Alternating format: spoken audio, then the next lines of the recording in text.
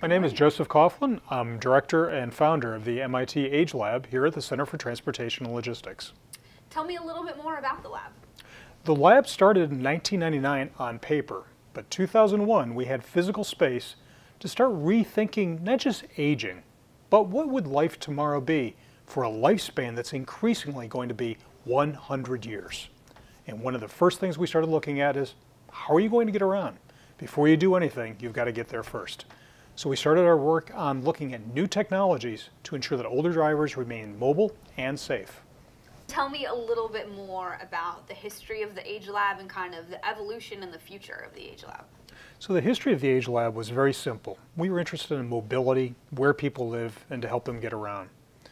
But living longer and living better requires really creating an ecosystem of where we're going to live, what we're going to do.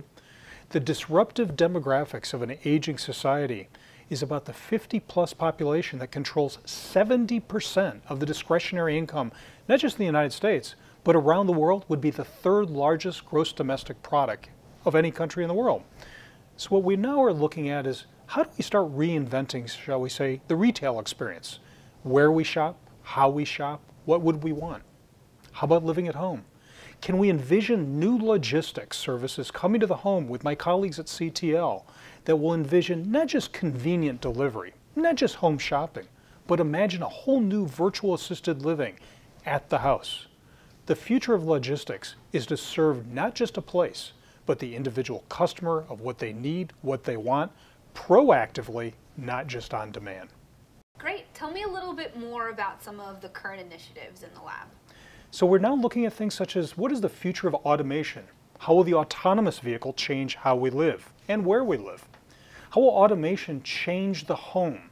The future of home services. Think about the logistics of living at home, having everything delivered not just for convenience, but for care in old age. We're also looking at the workforce. Think about it today. There are five generations under the workforce umbrella, five generations of consumers. How do these different generations interact? How do they buy? How do they work? How do we manage them? And then finally, we're also looking at what's the future of design with an aging society. We've worked with retailers around the country on how to think about the store of the future, how it will be shaped, what will be the design elements within it, and frankly, how will the design of our communities enable people to stay connected longer and safely? In short, the Age Lab is CTL's face of the consumer. Tell me a little bit more about some of the tools that you're using currently in the lab. One of the great things about working with the people at CTL and throughout the Age Lab is that they're creative about developing new tools to understand how people shop, how they live, and how they move. Some of them include Agnes, the Age Gain Now Empathy System. It's a suit that you put on that makes you feel like you're 75 or 80 years old with one or two chronic diseases. We have Miss Daisy, a very highly complex uh, driving simulator. We have one of the most complex on-road vehicle experimental platforms in the world. In terms of universities, we have anywhere from three to five vehicles on the road at any given time, looking at how people study and use the technology. And finally, some of the fun stuff is we have several consumer panels. We have a panel of 85 plus to understand how they are living and aging well, and young millennials and Gen Zers to think about how do they shop, where do they live, and frankly, what's their future in the workplace.